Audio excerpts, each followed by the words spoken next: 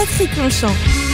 Bonjour à tous et à toutes, très heureux de vous retrouver. Comme tous les vendredis midi, on va parler de solutions avec notre invité de cette euh, semaine. Il s'agit de Frédéric Tabary. Bonjour Frédéric. Bonjour. Alors, de quoi va-t-on parler aujourd'hui? Eh bien, on va parler des villas et des camions d'urgence. Vous allez nous expliquer, Frédéric, euh, ce que c'est, mais si j'ai très bien compris, euh, votre projet, c'est se dire, tiens, il y a des camions frigorifiques qui sont délaissés après usage, ils partent plutôt en Afrique, et plutôt que de les laisser dans des décharges africaines à ciel ouvert, eh bien, nous, on va les euh, rentabiliser et on va leur redonner une seconde vie pour les habiter, comme euh, l'a fait un de nos invités qui était bateau euh, pour les bateaux qui étaient en fin de vie, c'est ça concept. Même concept, même idée En, en fait, euh, à la base, un camion frigo a une durée de vie de 12 ans. Ouais. Au bout de 12 ans, euh, le camion frigo peut soit repasser aux mines, soit euh, partir effectivement en Afrique, en Roumanie. euh, donc, ils sont très souvent revendus un peu au black. Mhm. Et euh, ça sert à payer les vacances pour nos transporteurs, Mhm. par exemple, ou une nouvelle voiture. Et puis, bah, les, les camions ensuite sont délaissés sur les réseaux euh, dans, dans les pays du tiers-monde et finissent effectivement sur des décharges parce que c'est indestructible. Euh, on ne sait pas comment le, le recycler, ce panneau, et euh, c'est vraiment une épine dans le pied des transporteurs. Et il s'avère qu'aujourd'hui, euh, un ami à moi, Cédric Albert, qui est le patron d'une grosse boîte qui fabrique du camion frigo, on prenait un avion un jour ensemble et il me dit Toi, tu fais des cubes dans mon jardin. J'ai des, des boîtes qu'on pose dans les jardins pour faire des extensions. de C'est ça, parce que vous êtes designer hein, à la base, architecte, designer. ouais. Et il me dit texto, tiens mais dans le même dans le même esprit, moi j'ai des camions frigo au bout de 12 ans, on sait pas quoi en faire, on, on a un vrai problème de recyclage. Est-ce que tu pourrais venir les voir? Je suis allé les voir. Et il s'avère qu'effectivement, le camion frigo est génial. Mhm. Euh, alors évidemment, un camion frigo. C'est un peu ce qu'on a fait pour les containers, mais réadapté pour les camions frigo. Alors sauf que le container euh, euh, maritime, et, en fait c'est une véritable aberration de recycler un container maritime pour en faire des habitations, puisque ce n'est pas isolé.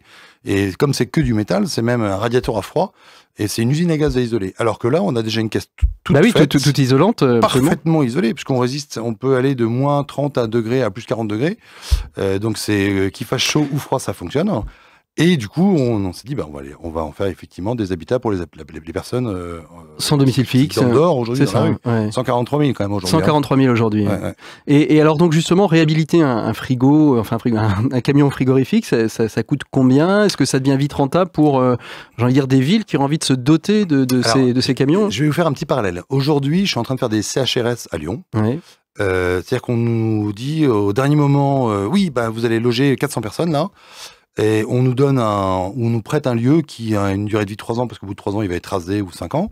Et on nous dit, bah, faites des travaux là-dedans, on va financer, c'est l'État. On va financer, et puis euh, voilà. Donc nous, on refait des travaux, ce que je suis en train de faire pour 400 ou 500 personnes. Et puis dans 3 ans, tout ce qu'on a fait, c'est poubelle. D'accord? Ça va coûter une fortune absolue. Mhm. L'idée du camion, c'est que d'abord, il est mobile.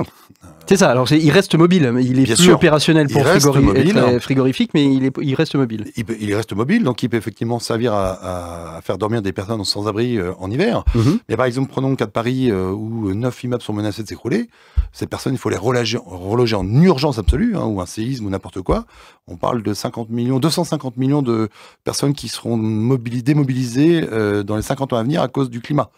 Donc on va se retrouver avec une pénurie de logements phénoménale. Et l'idée là, c'est que justement en recyclant ces camions, un budget tout à fait euh, euh, petit par rapport à une maison, puisqu'on est sur un budget de 20, euh, ça, oui. de 27 000 euros à 45 000 sur des versions luxe, puisqu'on a des versions luxe. Ouais. Alors, on va dire 27 000 euros pour combien de mètres carrés à peu près? Alors on est sur 33 mètres carrés, 8 D'accord. couchages en hein, effet, sur la base, c'est- de, la, la base, avec salle de bain et WC, le tout chauffé évidemment, euh, et c'est agréable. On a du sort de parquet au sol, euh, enfin voilà, c'est accueillant. Euh, et du coup, c'est une solution pérenne hein, qui euh, et a l'autre avantage, c'est qu'en plus on fait travailler des ateliers de réinsertion sur les projets. Et donc là, la boucle est bouclée. En fait, vous êtes dans une sorte d'économie circulaire euh, totale, 100%. c'est-à-dire à la fois réinsertion par le travail, mais aussi euh, réutilisation euh, des anciens matériaux et de nouveaux matériaux que je suppose être aussi éco-responsables Le pour garder, possible. euh, pour Et- garder l'ensemble du, et du projet éco-construit. et éco-construit. L'idée, c'est que en plus, on trouve des ateliers de réinsertion sur les lieux euh, où on a besoin des camions. Donc, Mhm. on va essayer de trouver un camion, par exemple, lyonnais. Euh, on va trouver une entreprise de réinsertion lyonnaise, l'armée du salut, par exemple, euh, Sophie Johnson, pour ne pas la Mhm. citer. Et euh, on va faire travailler ces ateliers de réinsertion pour ensuite un camion qui va finalement servir les sans-abri lyonnais. Alors aujourd'hui, combien de camions sont à, à la disposition d'associations, ont été déposés dans... Alors aujourd'hui, neuf camions ont été réalisés. J'en ai deux, une version luxe et une version 8 places qui sont encore sur un parking en train de dormir.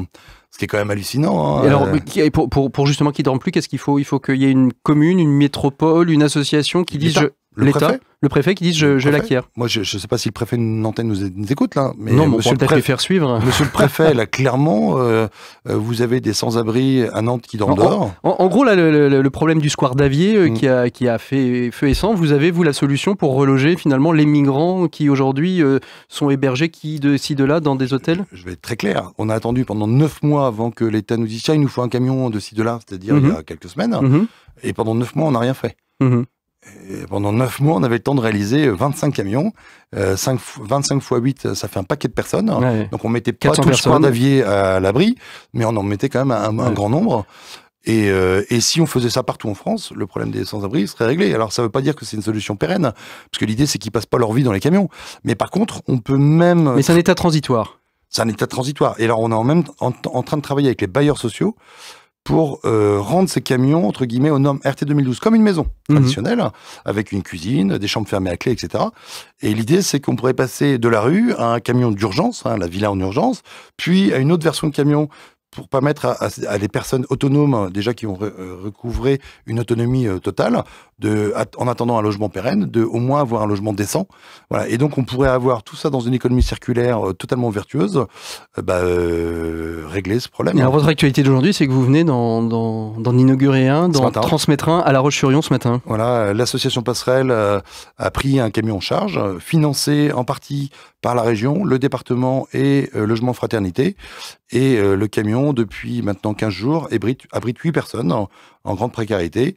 Euh, et ce matin, il faisait froid à La Roche-sur-Yon, il faisait 1 degré. Et je peux vous assurer que quand les élus sont montés dans le camion, ils ont vu la différence. C'est ça. Villa, alors villa, villa en urgence, camion en urgence. Donc ça veut dire que finalement, même sur des, des, des sites, euh, mettons une catastrophe naturelle, euh, on ne sait jamais ce qui peut se passer, vous pouvez faire arriver une flotte de camions, 10, 15 camions pour... C'est euh, un peu l'idée. En fait. et, et on se met sur un énorme parking et puis sûr. en fait on recrée un peu à la, à la forain finalement, c'est un système un peu forain. L'i- L'idée, si vous voulez, à terme, c'est que ces camions servent en hiver pour les personnes qui, effectivement, mettent leur vie en jeu dans Mhm. la rue, hein, clairement, euh, et que ces camions puissent être utilisés. euh, on peut disposer d'une flotte euh, pour d'autres missions.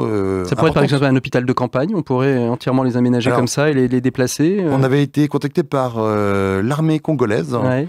euh, camerounaise, pardon, Camerounaise. qui était intéressée pour faire des hôpitaux et des cliniques dentaires dans ces camions.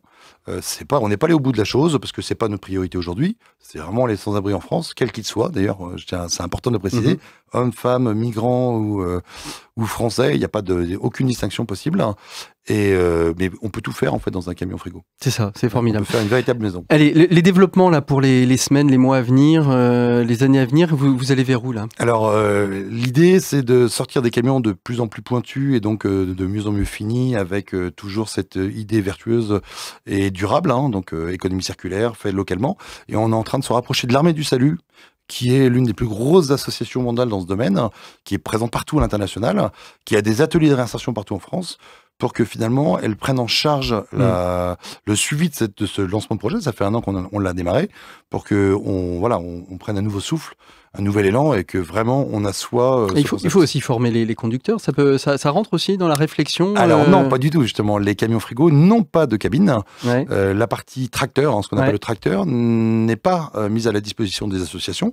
Il n'y a que la remorque qui est gérée. Donc elle fait appel à quoi? Un, On fait appel à un convoyeur. Un convoyeur hein, parce que la remorque, quand elle est sur les rues, nos remorques ne sont plus considérées comme des remorques frigorifiques, Mhm. mais comme des logements qui sont convoyés par des convoyeurs. D'accord, donc là c'est une obligation légale Ah oui, bien sûr. D'accord. Et, et nous, c'est un souhait. Euh, on ne fait pas rouler des, des- des camions frigo qui transportent de la marchandise. Mhm. Euh, nous, c'est vraiment une habitation qu'on déplace, hein, comme un mobilhome. La seule différence, c'est que le mobilhome, pour être transporté, il faut une remorque. Nous, on est direct, on a déjà notre ça, remorque. c'est ça, exactement. On peut retrouver toute votre actualité euh, sur euh, sûr, le sur site internet, Facebook sur la page, la page Ouais. Facebook, le site euh, villa en Twitter. urgence.org. On est partout, je crois. On est partout, c'est ça. Pas. vous tapez Villa en urgence et Ouais. vous trouverez toutes les infos pour mieux comprendre ce que vous faites. Si vous êtes euh, un prescripteur, n'hésitez pas à les contacter. Vous pourrez permettre à des personnes qui n'ont plus de logement, pour des raisons ou pour une autre, de pouvoir se loger. Alors attention, euh, Ouais. nous appelez pas euh, si vous êtes un simple particulier parce oui, que c'est ça. c'est sans-abri. ça. Et je tiens à préciser que une les association, voilà. les métropoles, les collectivités locales. hein. Exactement. Et je tiens à préciser que les gens qui dorment dans nos camions sont orientés dans nos camions par le Par les, 115. services, et par le 115 et les services sociaux. Oui, tout à fait. Merci beaucoup Frédéric Tabary. Bonne écoute des programmes de radio, euh, de Sun pardon. nous on se retrouve, qui est une radio, et nous on se retrouve la semaine prochaine. Allez, bonne écoute. Bon week-end à tous.